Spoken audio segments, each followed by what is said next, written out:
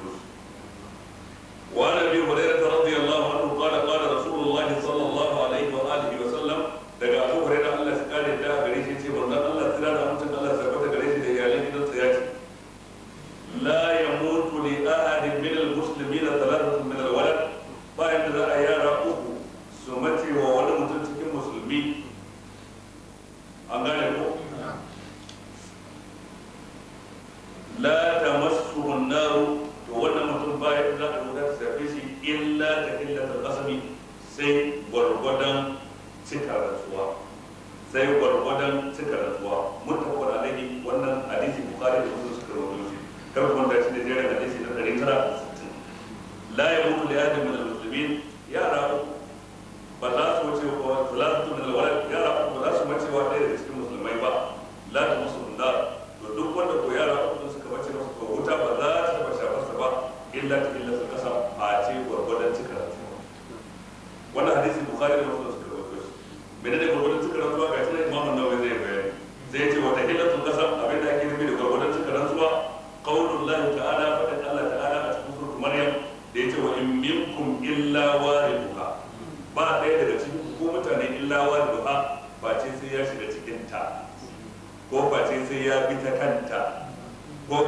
ya bi ta kusa da ita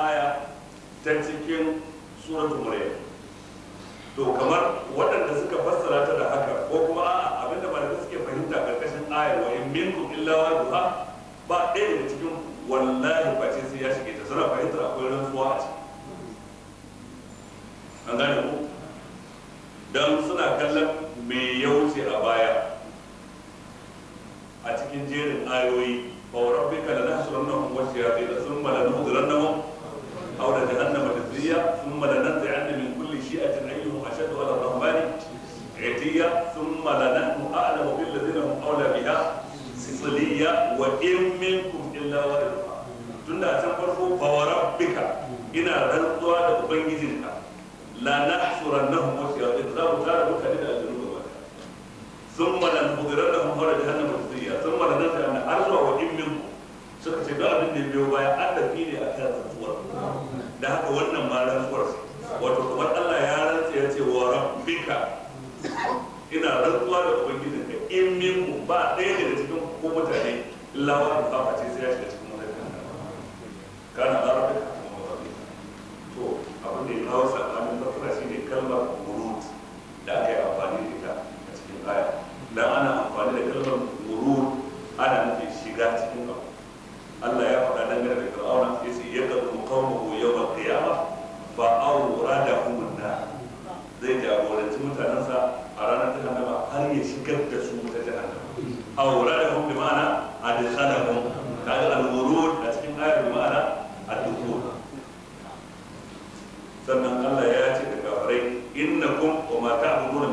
lillahi hasabu jahannam ko da abin da kuke bautawa ba Allah ba wato makamashi ne na wata jahannama antum laha wariduna. Ku dan sai kun shiga cikin ta kaga ta ma an amfani da kalmar warada ko alwurud da ma'ana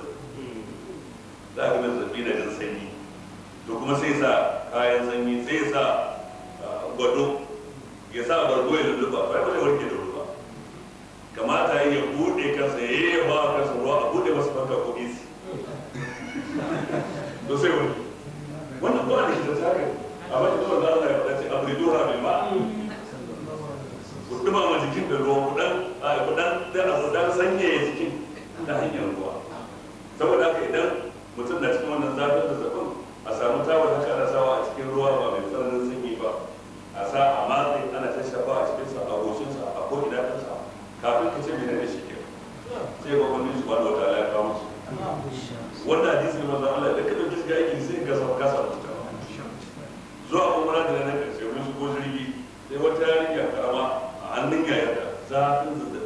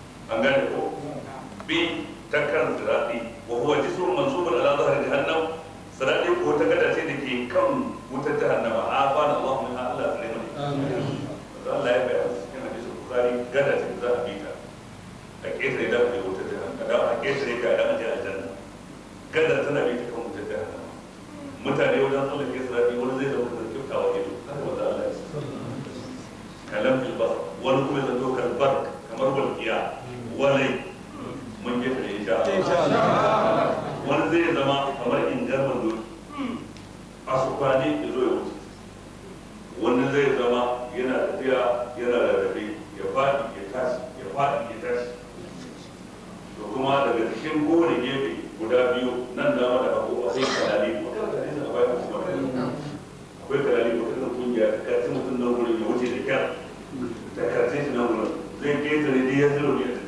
Amal dia. Sai ma ta mutu a na karshe wanda zai ketare sirati shi ne wanda zai wuce da rarrafe ko da zai gidi. Bayan ya kuma ketare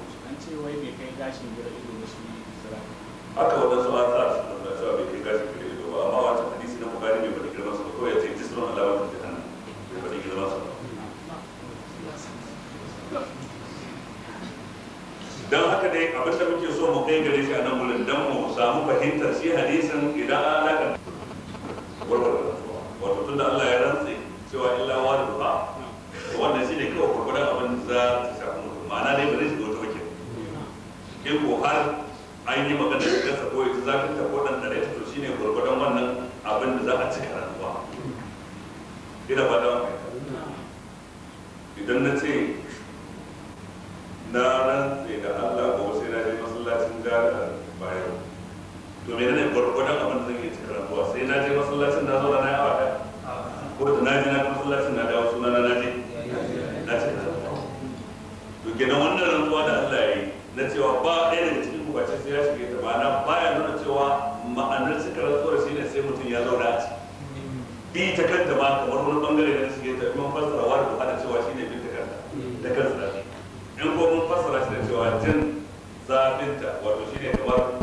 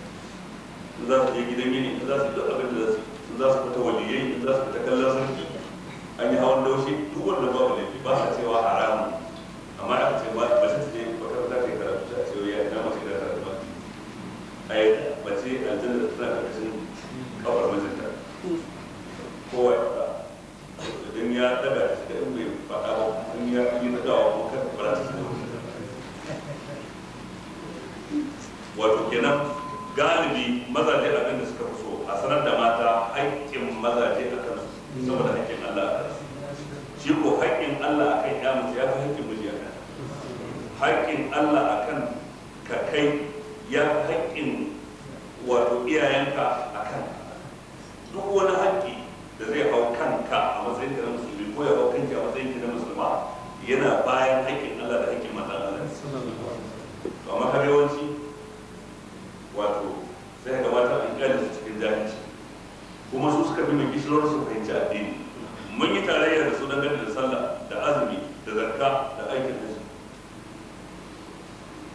da salatin annabi da zikiri da hailala da karatun alqur'ani duk wanda ana da bukatar maza da mata duk imani musulunci kunuti khushu'i إن المسلمين والمسلمات والمؤمنين والمؤمنات والقانتين والقانتات والصادقين والصادقات والصابرين والصابرات والخاشعين والخاشعات والمتصدقين والمتصدقات والصائمين والصائمات والحافظين فروجهم والحافظات والذاكرين الله كثيرا والذاكرات تذكر الصلاة يبقى من هكذا أما سن كذلك ده من المبابا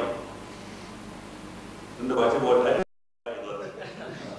su suka ɗaya suke kaina su kaɗai suke nufasi su kaɗai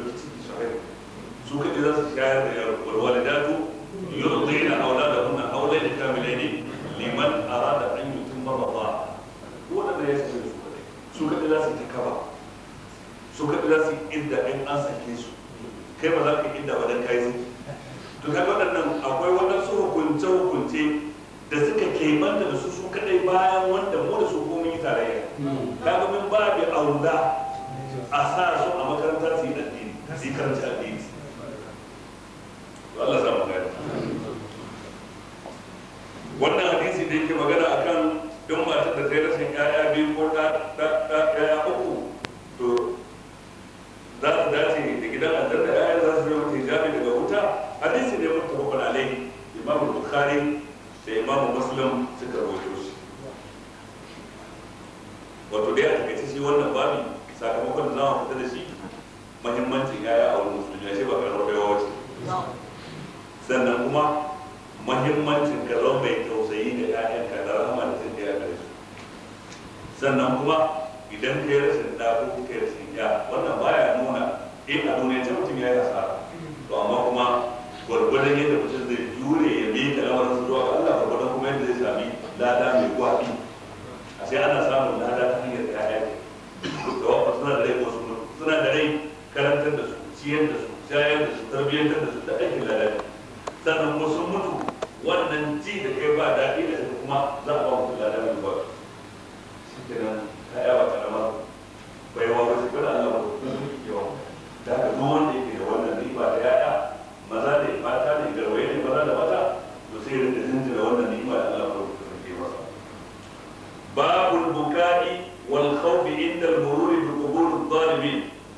مضارعهم وإظهار الافتقار إلى الله تعالى والتحذير من الغفلة عن ذلك. والنبابي لدي يقولون هل تنجبك والخوف يجوز عند المرور بقبور الظالمين يا عند كوتي ثم قبر الظالمين. إن كوتي ثم قبر الكافرين. أنا سم ركز زمريز.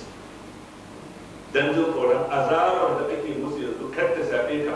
A daidai mintin da kai kafin ka wuce tsawon mintin da kai kafin ka wuce. Ka ji ba? Wa ya kama da tona a cikin zuciya zuwa wajen ya mutu makabartar yahudawa ya wuce ko dan ya mutu cikin makabartar kirista ya wuce. A kowane jin tsoron ko wani abin da yake samun a cikin kabari zai shafe shi. To so ake ko mutum in ya fito wajen ya yi kuka wato in ya halarto a cikin zuciyarsa azabar da ake waƙa da Allah ce annabi ya rubu da alaiha rubu wa shi ya gaba da yare gidan fir'auna wa yawma taqumu sa'a ada ta du'a da fir'auna a cikin Allah dangane da dukkan kafirai kuma Allah ce wala nuziqannahum min al-azab al-adna dun al-azab al-akbar da annahum yarji'un za mu dandana musu karamar azaba ba da suka ce ita ce azabar kabari dun al-azab al-akbar kafin babbar azaba a cikin ranar tashin kiyama tunda Allah ce wa yawmal qiyamati yuradduna ila ashadil azab ya ce sanu'adhibuhum marratayn thumma yuradduna ila azabin azim duk wannan na nuna azaba a cikin kabari da ake waƙa to a zuciyar ka karin da zamba yanzu nan gurin ana azaba ne kuma zan da kusa da wajen. Baban da yake nuna yin kuka da kuma tsorata a inda al-mururi bi quburin zalimin yayin bi ta kusa da kabarbaran azzalimai wa masarihim ko wuraren da aka halakar da su ko da ba a gina musu ko da ba a haka musu kabarbura ba. Wa izhar al-ibtiqar ila Allah ta'ala kuma in za ka wuce ta wuce ta wani hali na bayyana bukatuwar ka zuwa ga rahmar Allah. wanda hadiri da zauna ko mutum ya zanto mai fada fadakuwa daga gafara an zalika game da haka. Kare gaba da game da wancan abin da aka ambata a baya.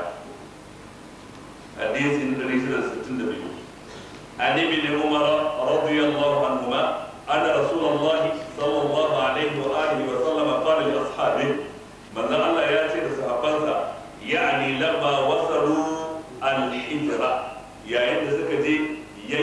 ƙasa da ake kira alhijir alhijir din da yake diyar samud su ne garuruwan samudawa kazzaba ashabul hijr al-mursalin. Wato ainihin ashabul hijri sun kire ta manzannin Allah. To su ne mutanen annabi salim an gane ko? Da annabi ya fita wajen shi da sahabbansa sai ya ce da sahabbai la tadkhulu ala haula'i al-mu'azzabin kada ku shiga tsakankanin garuruwa ko wuraren da aka halakar da mutane da ake wa azaba illa an takunu bakina ba ce kun fito wajen kuna kuka. Fa in lam takunu bakina in ko ba ku yi kuka ba ba wala ta dukulu alai to kar ku fito wajen.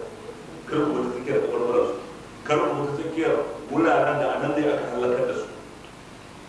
La yusibu kuma asabakum domin kada abin da ke shafa su kuma ya shafe ku muttafaqun alaihi imam al-bukhari da muslim suka rawaito wa fi riwayatin a wata riwaya ta hadisin qala ya ce lamma marra rasulullah sallallahu alaihi wa alihi wa sallam bil hijri yayin da manzon Allah ya wuce ta cikin garin samudawa qala sai ya ce la tadkhulu masakin alladhina zalamu anfusahum kada ku shiga gidajen ko wuraren zaman waɗanda suka zalunci kawunansu an musiba kuma a sabahun dan kada abin da ya shafe su ya shafe ku illa an ta kuma bakina sai fa za ku shiga wajen kuna yin kuka sun makanna a rasulullahi sallallahu alaihi wa sallam ra'sahu sannan manzo Allah ya tsada kansa haka alama ta firgici da jin tsoro wa asra asira ya zaburar da tagon da yake kai ta kara sauri hatta a jazar wadi sai da ya wuce filin wajen farfajiyar wajen sanda ya koma yadda yake. Sallallahu alaihi wasallam. In za mu yi aiki da wannan hadisi yau. Idan aka ce ga wannan makabarta ce ta yahudu ko ta kirista ko ta maguzawa dan kuna zaune a garin da yake akwai maguzawan ko yahudawan ko kirista ga makabartar su idan akwai hanyar da ta ratsa ta tsakiyar makabartar ko kuma wanda ba za ta tsakiya ba. To kar ka bi da za ta tsakiya ba ba ka buɗe ba za ta idan babu wata hanya dole sai wannan ta tsakiya makabartar su ko ta gefanta to ka wuce a wajen da gaggawa. Kar ka bata lokaci. Dan manzo Allah ya kara gaggawa. Ka wuce a wajen kuma a firgice ka halanto a kan ka jin tsoron kada abin da yake shafe so shafe ne kafin ya wuce. Haka ake so ka halanto a kanka. Sawa makabarta ce ba makaranta ba ce ba a wurin a tarihi an dammara wata al'umma. To haka ake son mutum ya riƙa ji a jikinsa cewa a firgice yake lokacin da zai fito. Ina ba da mu wato kenan kun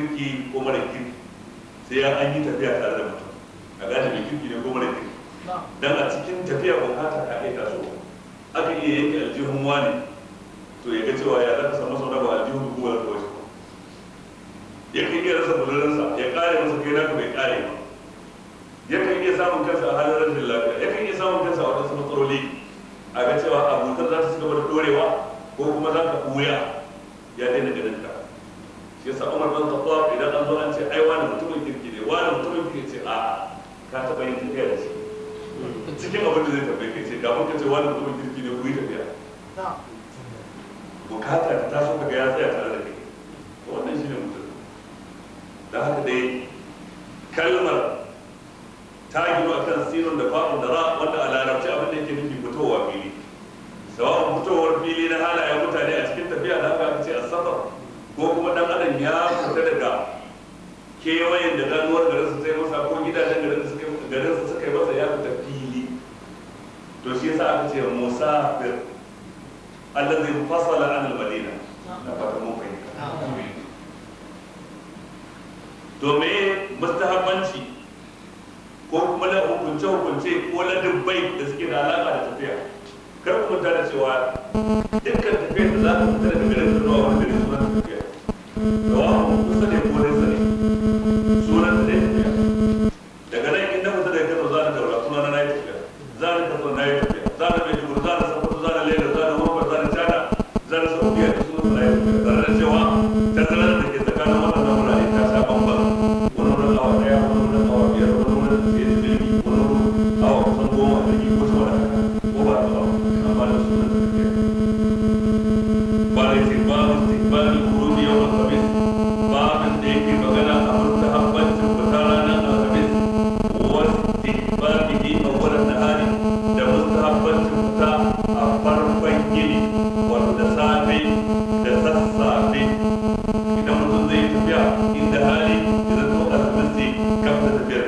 kana da inda hali ya zato da safe ne ka fita in kana da zafi na ce in kana da ta iya wata tafiya a jirgi ce a mota ce da ba ta ba a'a abin da zai kai ka din laraba ya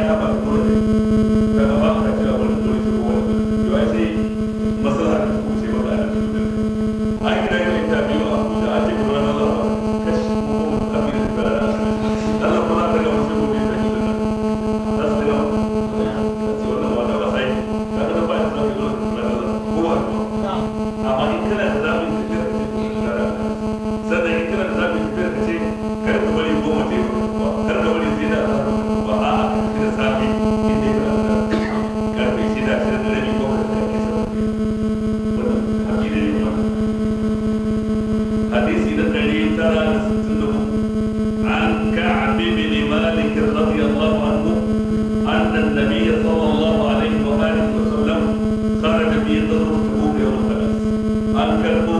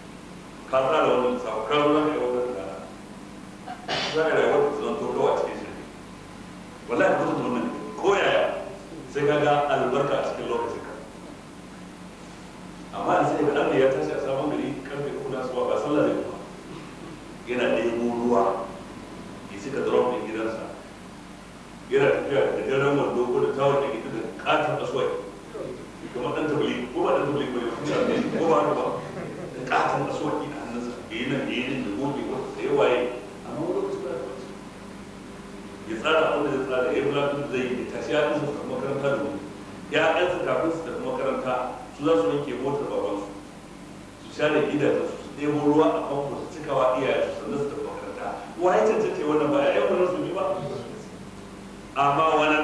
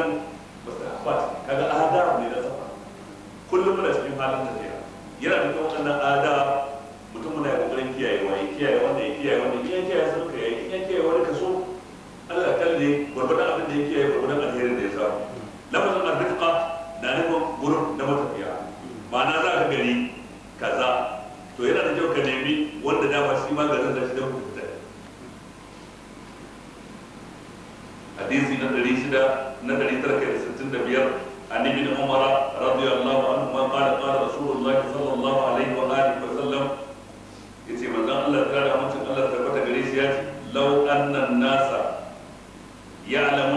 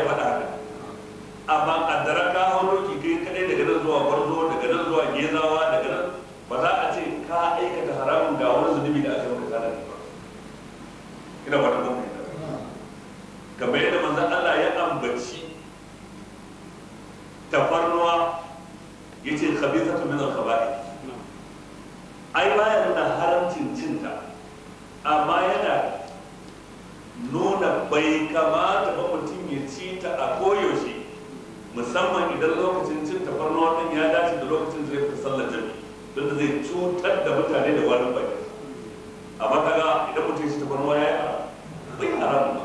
Amma shi mun shi maka kabin su tunan ka da ran cewa akan kawo abu khabir ana nufin bai haram. Inda manzo zalla shi zaman al-qalbi khabith. Wato farashin kare khabith. Ga khabith ana yana nufin bai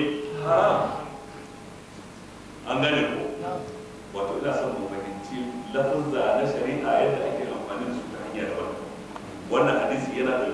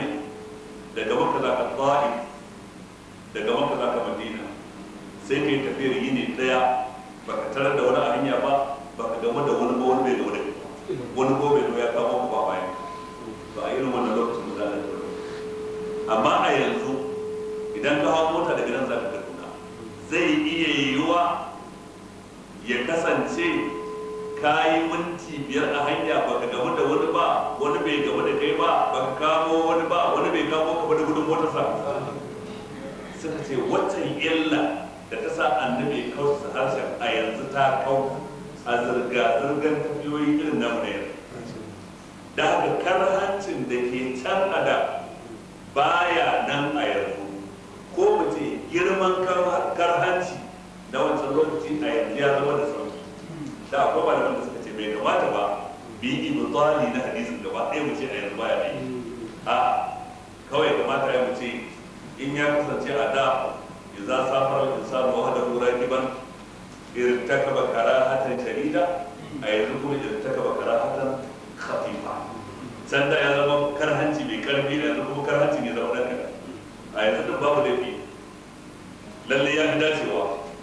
An fi so ka tafi da mutum ɗaya ka tafi da mutum biyu ka tafi da mutum amma in ka tafi kaɗai ba za a ce karhancin ka kai na wanda ya wata tafiya shi da wannan shi ne shirin da malamai suka yi bayan na lalle ka a cikin littattafansu. Ina ba da mun haita amma ne gudun kar mu rasar da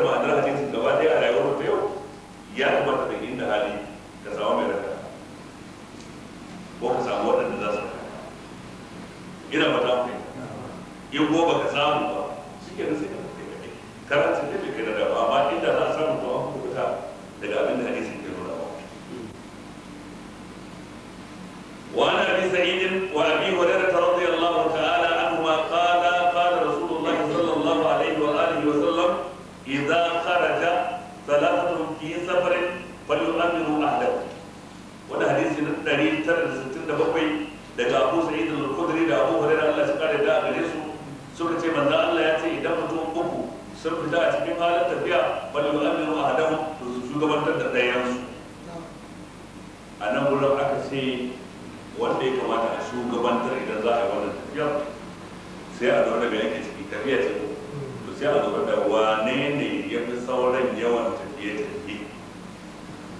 Ya tsara sauran experience a cikin rayuwar tafiye-tafiye sai zama shi ne amina kira ba mu to aka ce shi kuma abin da ya kamata ya kula da shi don su sun shugabantar da shi dole su shi kuma abin da zai kula da shi menene maslaha tafiya an wajabta musu su yi masa da'a a daidai wannan tafiyar har a je a dawo amma za su yi masa da'a ne cikin abin da yake da alaka da maslahar tafiya amma abin da ba da alaka da maslahar tafiya ba wajibi dole su yi masa da'a amma duk abin da shafi maslahar tafiya idan ce za mu haɗa salloli guda biyu tun da sallah ne ma da karo ne ce mun ba za mu haɗa ba za mu yi su a wani dole su yi shi. Idan ce za mu yi su a wani karo ne ce a dole sai mun haɗa idan aka da wajibi su sai mu ware. Idan ce a gari kaza za mu ci abinci dole a garin za mu ci abinci. Idan sai a wuri kaza za mu ƙara mai dole a wuri kaza za a ƙara mai. Idan yan sanda suka kare ko ina za mu daga ina kuke ina ka tafi wata kawai zai magana sai shi ina za ku wuri kaza me za yi kaza? Ina ka tafi mota? Akwai su ko man da su gida ko kaza ko kaza. Sai in shi ne ce wani ba shi ansa. Cikin abin da shi bai sani ba wani sani. Sannan wannan sai da kuma mu ko wanda ya san da su tare ko mota guda ce ina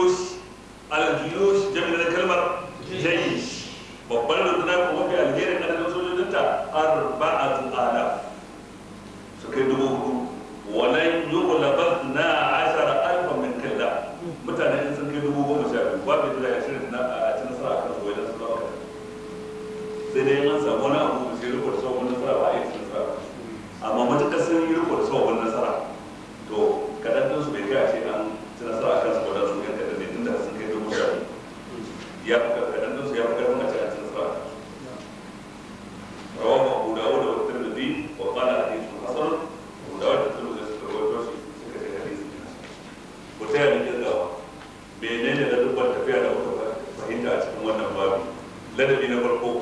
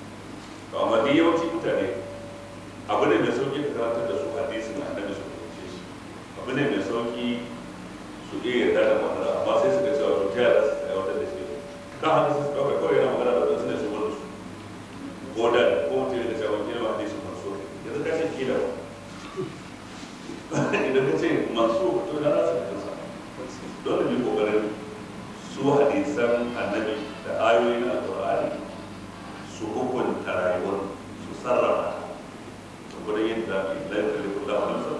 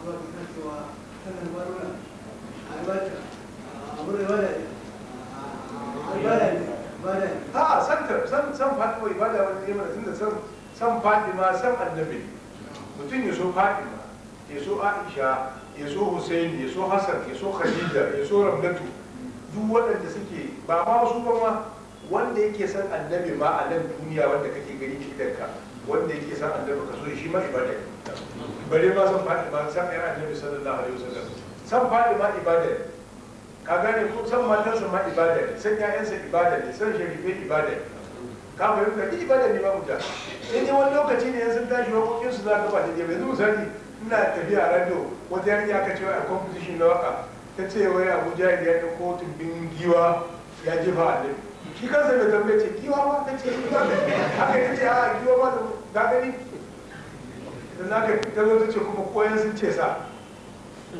A ga ce rakumi. To kaga wa'annan wakokin da ake wani sabon ba a daidai suke ba amma su kawai ɗabi'a ce son san ne ba sai ka ce Allah ya so amma dai san faɗi ma ne ba ne. Amma wannan ba zai sa kuma ka zama shi a ba san faɗi ma bi ibada haka ta faɗa? A to me ne ibada ta take cewa ita ta tsaya ga ba to ya ta mace mun mun tsaya ga annabi muhammadu a'a san faɗi ma a ce ya bi ibada. To me bi ibada? To me zaka bi ibada? Wannan kuma kuma hauka. To ran aka ce kayi wani abu ya bi ibada to me? Sai dai wato sai dai tana da mun ce Fatima kadai ya ishe ka ko ba Allah ba. Wannan a'a nan Muhammadu sallallahu alaihi wasallam. Wannan duk wato abin da ya cuce mu wannan rigingimin nan na izalar dalika duk su suka cuce mu wa'annan abubuwa suka taho ba za su gyaru ba ta daɗi. Saboda ka taɓa su sai a ce maka sa annabi Muhammadu. Wannan kuma ka taɓa shi sai a ce ka kare bid'a. Duk su to rashin abin da sai abu ya zama chocolate. Ba za ta daɗi sai rashin da sai shi yasa dole sai a ba abin da taimake mu ne kawai mutane sai su ta karatun boko. Su waye dan su ne in mutum ya karatun boko sosai shine ba zai da dinga je ba cikin kutu ba. Ba za ka shiga cikin kutu kawai ne ba cikin kutu ne wannan ba. Amma da ka zama ke nahu shi ke nan kawai sai ka kutu a rubi kowa ya faɗa maka son zuciyarsa shi ke nan kai in kai magana kuma ka zai zaka fita. Masu gabatar da salatu da farkon kiran sallah ne matsayin su wanda ya yi asnata a ruwan kiran sallah ba ne wanda ya yi asnata a ƙarshen kiran sallah